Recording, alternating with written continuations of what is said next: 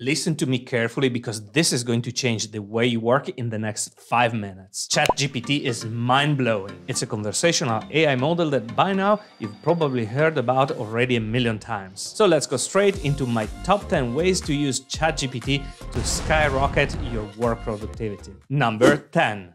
Writing emails. ChatGPT is your personal assistant. Just let it know to whom you want to write the email and what the email should be about, and you'll be surprised of the results. So for example, let's ask ChatGPT to write an email to John Doe of company Newcomp to ask for a quote for product X. And I want three units. Ask for quantity rebate, delivery time, and any other question one should ask in such an email. Click send, and here's your mail. Dear John Doe, I hope this email finds you well. I'm reaching out from your company and I'm interested in obtaining a quote for three units of your product X. Please let me know if you need any further information from me to provide an accurate quote. That sounds pretty good to me. Number 9. Answering emails. Now let's assume that John Doe has answered to my email. You can just copy the text of that email and paste it into ChatGPT. So in conversational terms, I'll tell ChatGPT what happened. Mr. Doe has answered the following. Dear Enrico, thank you for your email. It's a pleasure to hear back from you. Unfortunately, I regret to let you know that product X is out of stock, and currently we don't know whether we'll be able to offer it again in the future. In alternative, I'd like to offer you product Y that is slightly more expensive but offers premium features. Please let me know if you'd like me to send you an offer for product Y. And now let's ask ChatGPT to answer this email politely accepting the offer. Just a matter of a couple of seconds, and that's our polite email. But let's say I'm disappointed with Mr. Doe's response. So let's give ChatGPT another prompt. I'll ask it to rewrite the email with disappointed tone, saying that this puts us in a difficult situation. Newcomp had guaranteed availability for 10 years, which is now not the case. Ask to schedule a Zoom call to discuss this important issue. Just a few seconds and that's your email. Dear John Doe, I received your email regarding the unavailability of product X and I must say that I'm disappointed to hear. Please let me know a few dates and times for you to schedule this call. I look forward to hearing from you soon. How much time is this saving to you? It's just mind-blowing. Number 8. Summarizing text. So let's say you have an article or a report and you want to have a brief overview on the key points. Or maybe you have to create a summary to share with your colleagues. So for example, let's go to Wikipedia and look for artificial intelligence. This is a pretty long article, so let me copy the first paragraphs and then go to ChatGPT and ask it to summarize the following article in 10 bullet points. For each point, give me a two sentences summary. The article is the following. And there you go! You have to be aware though that there is a limitation in the length of the text that you're pasting. I tried to copy and paste the whole article from Wikipedia, but ChatGPT told me that it was too long. In case you need to summarize a very long article, then you may have to split it in smaller parts. We now have 10 digestible key points that summarize the article. I'm just speechless. And once you have your 10 bullet points, you can further refine the product. So ChatGPT give a title to each bullet point and make the title bold and change the point format to numbered list. Well, I said make the title of each bullet point bold.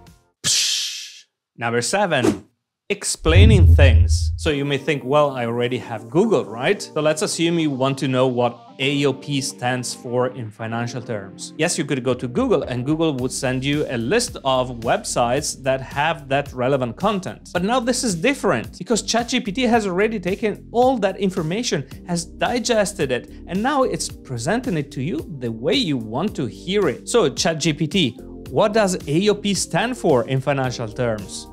But you can ask ChatGPT any question you like. For example, how can I create a poll in Zoom meeting? And boom, you have all the instructions. Or now let's assume that you don't know the meaning of a word and you want ChatGPT to explain it to you. But not just that, you wanted to create a few examples of sentences to put that word into context. So what does serendipity mean? Explain it to me and give me three examples of use in a sentence. Furthermore, give me the Italian translation. Yeah, sure, you can use it also as your translator, but you can ask it to perform even more complex translation tasks. So let's copy the artificial intelligent text and ask it to translate it from English to Italian. I'm an Italian native speaker and I tell you that the translation is really good. Number 6. Checking for typos and grammar mistakes. So let's say you've written an email or a text. You can just copy and paste it into ChatGPT and ask it to check for typos and even correct them. So look for typos in the following text.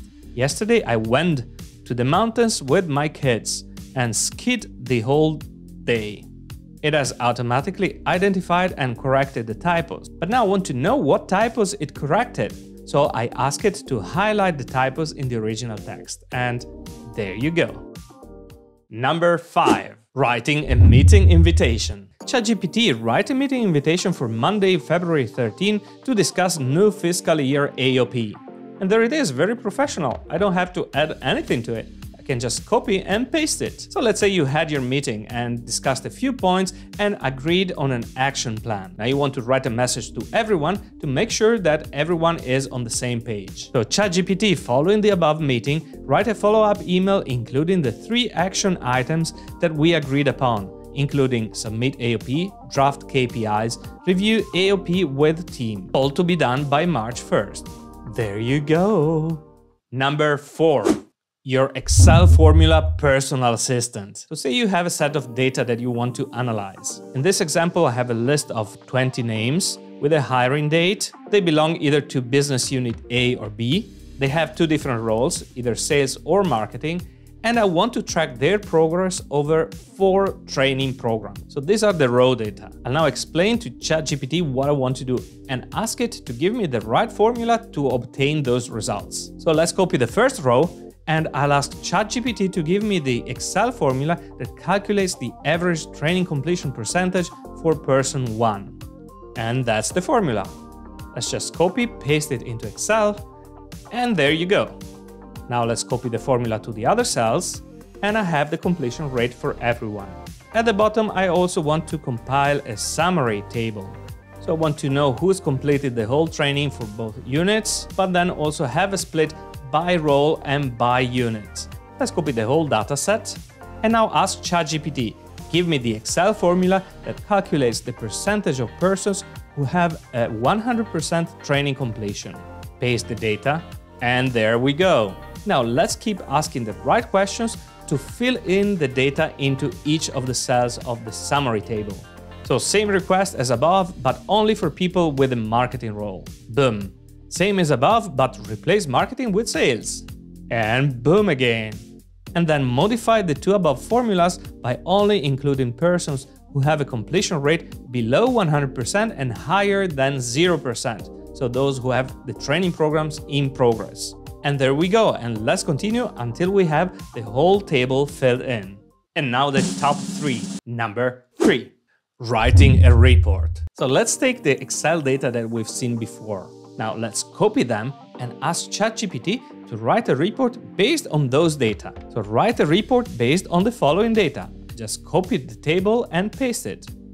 So it spits out an interpretation of the whole thing. But now I'm not fully satisfied. So let's give it some additional prompts. Rewrite the report considering that unit A plus B is the sum of unit A plus unit B and not a separate third entity. In the report, stress the importance of defining that several people, also from those who've been hired several months ago, have not completed the training program. Propose an action plan to get to 100% training completion for all in the next two to three months. And it just gives it to you. Obviously, you have to check it and then edit or modify it as needed. It won't do the full job for you, but it saves you at least 80% of the time. Number two, creating a project schedule. So let's say you're starting a project from scratch. You can use ChatGPT to start drafting a schedule with budget, timelines, and activities. As an example, I'm asking ChatGPT to create a project schedule with key activities, milestones, and budget for the launch of a new version of the Elgato Stream Deck, this guy here. Describe each activity in detail.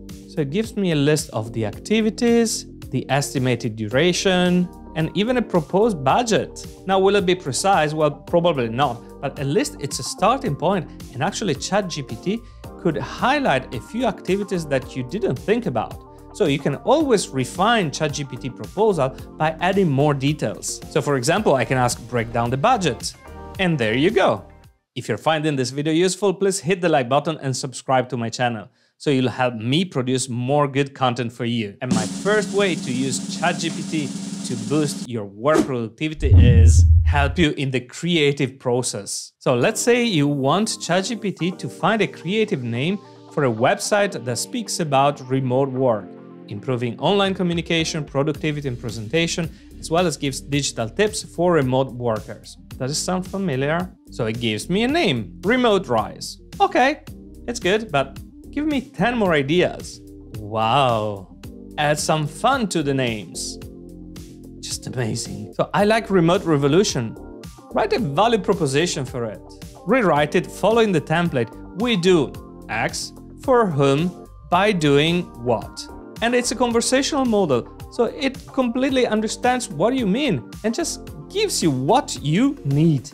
And guess what? I used it to find a clickable title for this YouTube video. So the only question you have to ask yourself is what will you do in the spare time that ChatGPT is giving to you? As a last bonus, I asked ChatGPT to give me an idea for a following video that you may be interested in watching.